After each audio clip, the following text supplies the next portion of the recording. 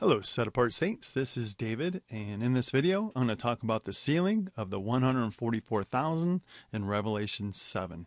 Some people today who believe the futuristic explanations of the fulfillment of Revelation proclaim that they're part of the 144,000 special ones to be set apart and protected in the end times.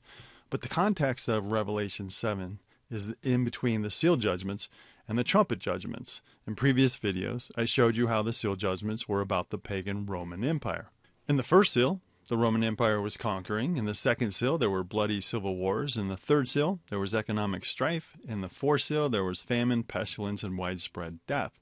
In the fifth seal, the martyrs' blood cried out for vengeance against the Roman Empire. Part of that was fulfilled during the seal judgments, which point to the empire's decline.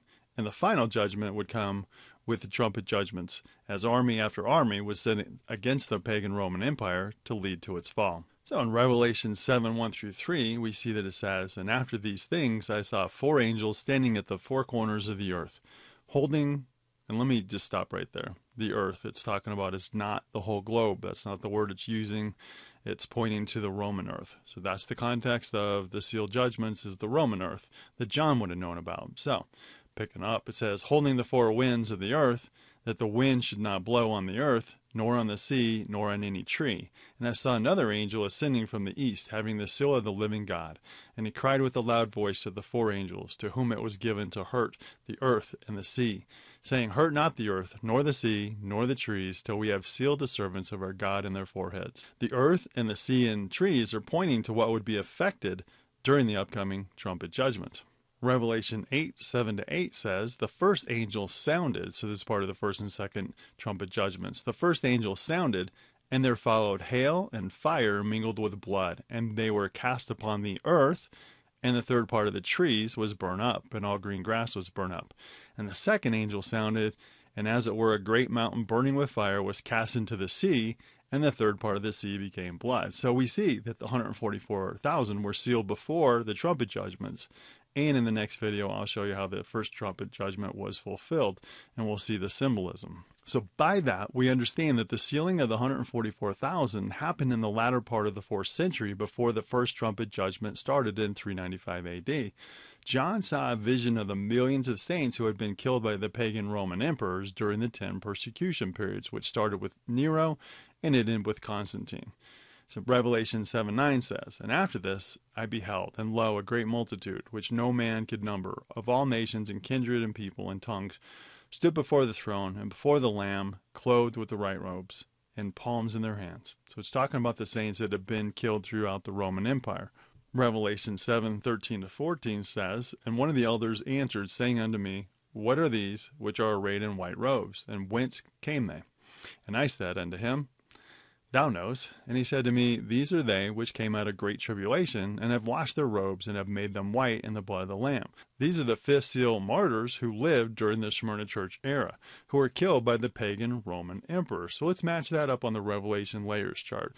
If you've not printed it yet, I put a link to it in the description. You can stop the video, get that printed up. You're going to want to reference that in this video and in future videos so you can see the synchronicity of the fulfillment of Revelation.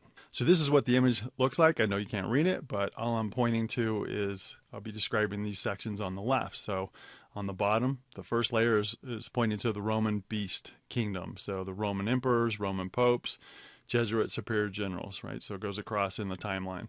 Second layer is the seven churches of Revelation going across the timeline. Third layer is the seals, trumpets, and bowls going across the timeline. So we're going to focus on this left section, what took place during the Roman Empire. On the bottom layer, the first layer, on the left side, you see that the pagan Roman Empire, which is described in Revelation 12, is in power. And Revelation 12:11 says this about the saints who were killed by the Roman emperors, and they overcame him by the blood of the lamb and by the word of their testimony, and they loved not their lives unto the death. So looking at the second layer, so above where we're at on the bottom left, you see the church eras and you see the church era of Smyrna. And that's pointing to the saints that were killed by the Roman emperors, especially hard from 303 to 312 during the 10 days of the fifth seal. In Revelation 2:10, which is about the church era of Smyrna, says, "Fear none of these things which thou shalt suffer. Behold, the devil shall cast some of you into prison, that you may be tried, and ye shall have tribulation ten days. Be thou faithful unto death, and I will give you the crown of life. So the there were ten persecution periods which spanned from Nero until Constantine ended them. But Messiah here is telling the Smyrna church saints that they would face especially hard tribulation during the tenth persecution period, which lasted ten years. So ten days equals the ten years from 303 to 312 AD. So this is the time of tribulation the Messiah foretold, you know, about the church Smyrna saints in Revelation 7, 13 to 14, the ones that went through the time of great tribulation. Revelation 12 on the bottom left, you go up and you go up to the third level, you see the the seal judgments taking place. And you see on seal 5, it's pointing to the Smyrna church martyrs, whose blood was symbolically crying out for vengeance against the pagan Roman Empire. So do you see how the layers of Revelation align? We have the Roman Empire, we have the church era of Smyrna, and the other two church eras that took place during this time. We have the seal judgments taking place. We have the fifth seal pointing to the martyrs of the Roman Empire. We see the synchronicity of prophecy fulfillment. So, and you know, the deaths of these saints is something we have to keep in mind in the end times being martyred is not defeat, it's victory for the kingdom. Messiah died the most painful death, which declared his great love for us. And so when we die, when we give up our life and we choose him, we won't deny him and we will stay true to the faith. That brings him honor. And so death is a victory against the enemy because we did not give in. Moving into Revelation 8, the first verse says, When he opened the seventh seal, there was silence in heaven for a half an hour. So you have the six seal judgments, the seventh seal. What it does, it leads. We got this time of silence, but then the seventh seal opens up the seven trumpet judgments. So we got a little break in between the seal judgments and the coming trumpet judgments, where there was silence. In the context of the historical fulfillment of the seals of Revelation, when Constantine gave the Edict of Milan in 312, it gave liberty to the saints, and there was peace for a little while. So after the ten persecution periods, he ended that and there was peace for the saints, and there was a reprieve. Now, unfortunately, a lot of people fell away from the faith, apostatized, joined with what became the Roman Catholic Church, and, you know, really fell away from the true faith of Scripture. But there was peace for the saints for a little while. So, keeping in mind that Messiah foretold a time of peace between the seal judgments and the trumpet judgments, it's amazing that there's a Roman coin that was minted in 322 that had Constantine on the front, and on the back it says Blessed Tranquility. You see, it's so amazing to me when I did research on Revelation that you see in the coins, the coins of Rome testify, and we saw that in the seal judgments, and, and, and they testify to what's taken place. And right here, Messiah said there's going to be a time of peace in the Roman Empire, and there's Constantine saying, What? Blessed tranquility. That is just so amazing to me.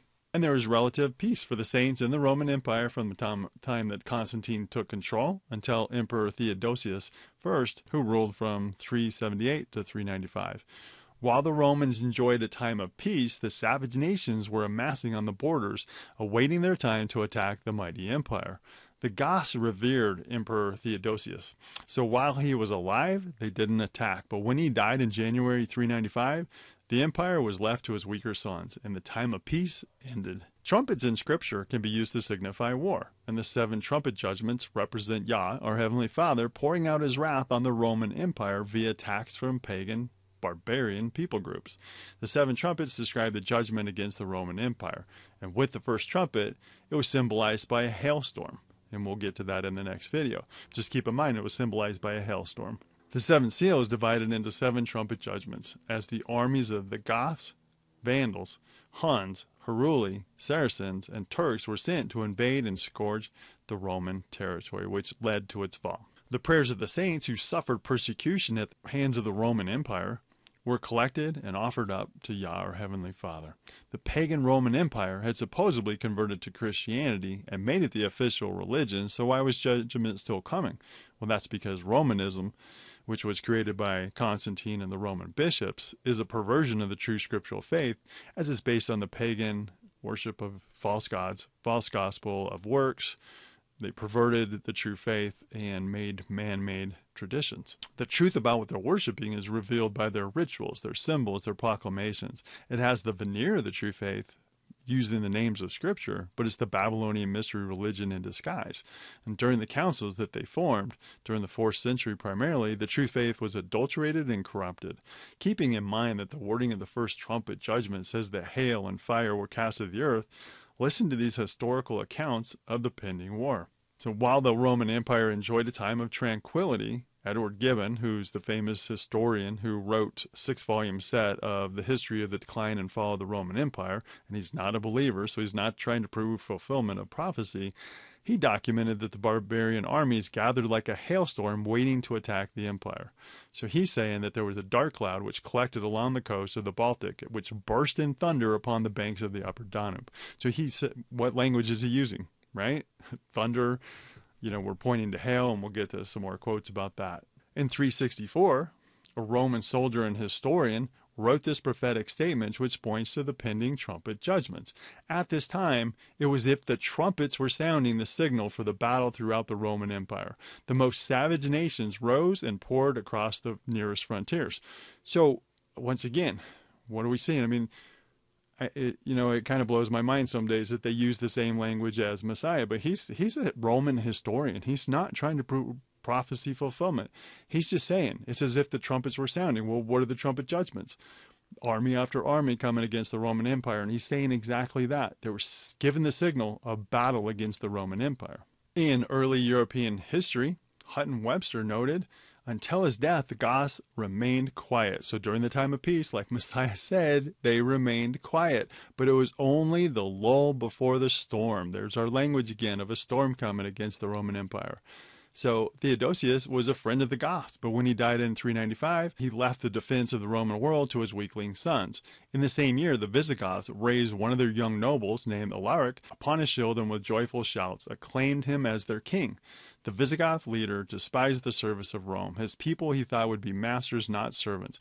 Alaric determined to lead them into the very heart of the empire where they might find fertile lands and settle once for all. In philosophy of history, Karl Wilhelm Friedrich Schlegel pointed to the time of relative peace said the Goths, moved by the representations of their prince, declared to Theodosius that as long as he lived, they wished to have no other king but himself.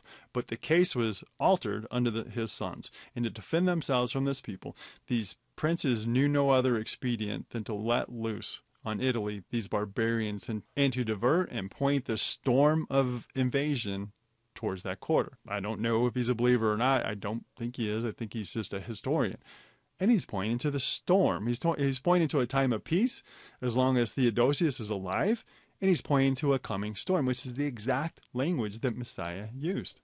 In the book Paraphrase of the Revelation of St. John, according to E.B. Elliott, it says, The threatening tempest of barbarians, destined soon to obliterate all remaining traces of Roman greatness, was still repelled or suspended on the frontiers of the empire, and was only kept for a season from bursting upon it with destructive violence by the overruling hand of divine providence.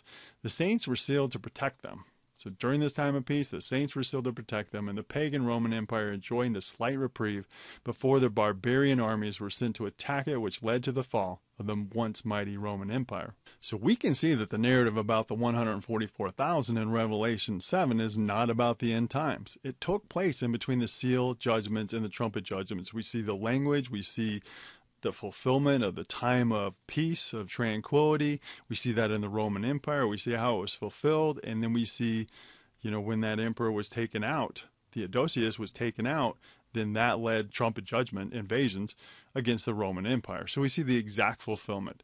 But you know, that said, we should strive to be set apart in the end times for our Heavenly Father so He protects us as the enemy makes war against us. We need to come out of man made teachings which originated in Babylon and Rome. We need to return to the ancient path of scriptural truth so that we're a pure bride for Messiah when He returns. I hope that helps you see the fulfillment of the 144,000. Love y'all. Shalom.